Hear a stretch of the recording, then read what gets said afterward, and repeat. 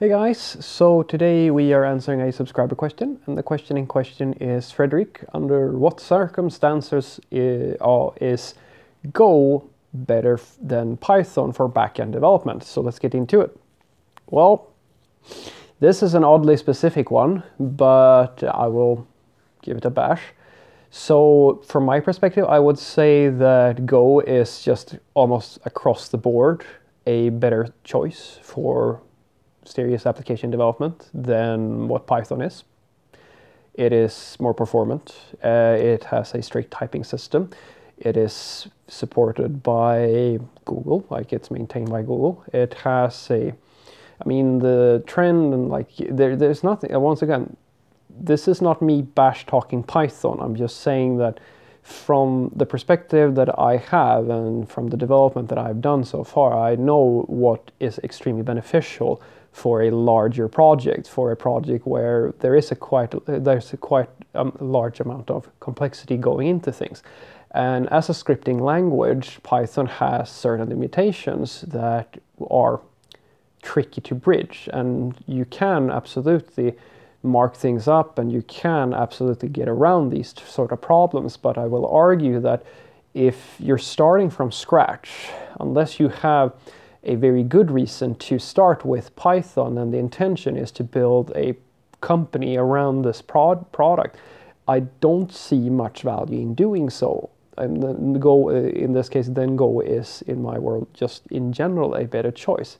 The exception that I will make to this is, and this is fairly universal, I would say, this goes for pretty much any project, and I will, you will probably see this as well. Guys, this idea that people who start out building something and then it becomes this big massive success case that, that they beforehand thought about what would be the perfect language to build in.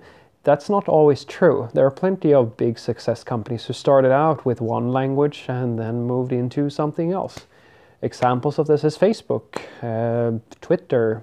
There are plenty of other companies who start out with one set of requirements or one need and they go from there to in, and they migrate into something different when they actually need to do that and python i think is i mean if you feel comfortable in python it's a great language for i mean scripting languages are really really great when you work on something where you know uh, I will admit that Go's compilation time isn't really all that high. I mean, many times, depending on how big the project is, uh, I mean, at a smaller scale, it'll Go is pretty like it's very, very fast, very, very fast when it comes to actually rebuilding your when your application and rerunning it.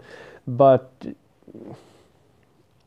for the most part, I would say that uh, having a scripting language at a smaller scale of project is a nicer development experience. At least I think so.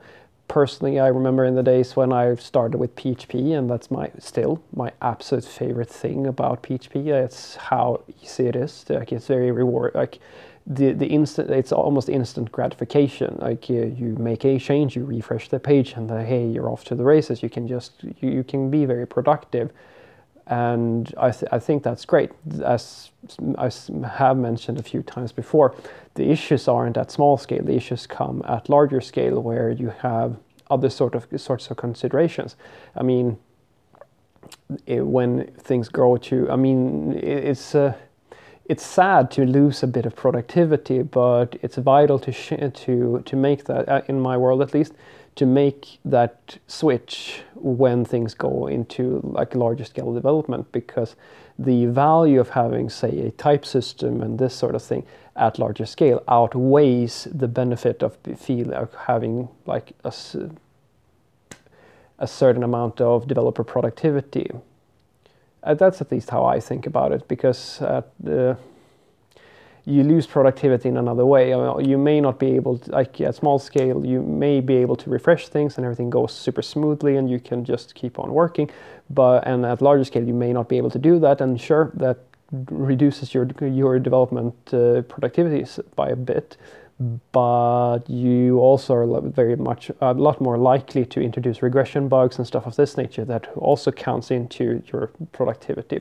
So I think it's a good trade-off. And then you have the performance aspects as well, but unless you are building something that is truly like truly requires high performance, it doesn't matter all that much. So, well, that's at least how I think about it. So what I want you to take away from this is that when it comes to the like when Go is a better choice versus Python for backend development, I would say that it almost across the board is a better better choice for serious backend development. The exception to this is as as always if you already know Python and you're really good at Python, there's no reason for you to go and learn Go just so that you can have the perfect language because it's very rarely uh, the case that you like the thing that is going to make your project a success is is almost never the language that you chose. Like that's not the determining factor. There are a lot of other things that factor in in into that equation if you will. And you remember you always have the choice of migrating at a later stage. But just in general if you're starting from scratch and you don't know either of these languages and your intention is I'm going to build a company, this is going to be a really serious project, then I think that Go is the better choice. Have a great day.